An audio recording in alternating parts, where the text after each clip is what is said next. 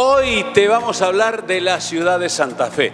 Te vamos a hablar de la actividad de la construcción pública y privada. Te vamos a dar como siempre buenas noticias. Serán media hora de buenas noticias en que te hablaremos del mundo de la construcción, de la cadena de valor que ello significa. Te vamos a hablar también de un eje que lo constituyen dos bulevares. Es el Boulevard Pellegrini y el Boulevard Galvez de la ciudad de Santa Fe y en torno a él las obras de las que te vamos a hablar hoy sumario de este programa. La primera nota la vamos a hacer con uno de los titulares de la firma Coemic, el ingeniero Julio Alayo. Vamos a hablar de la trayectoria de esta empresa y particularmente de los desafíos que ha tomado en este último tiempo.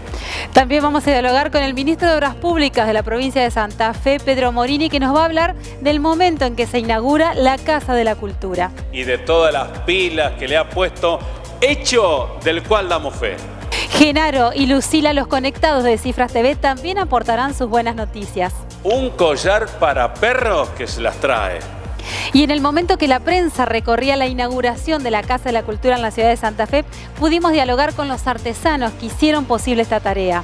El primero, Luciano Hernández, de la firma CIPEC, que tuvo a su cargo la cuestión arquitectónica de la Casa de la Cultura. Y después estuvimos hablando quién trabajó sobre las maderas con Oscar Martín. Y también estuvimos con Mauro Prono, titular de Prono Ingeniería, porque a esta obra que se puso en valor hay que ayornarla con los nuevos tiempos. El aire acondicionado, cómo se trabajó en ello.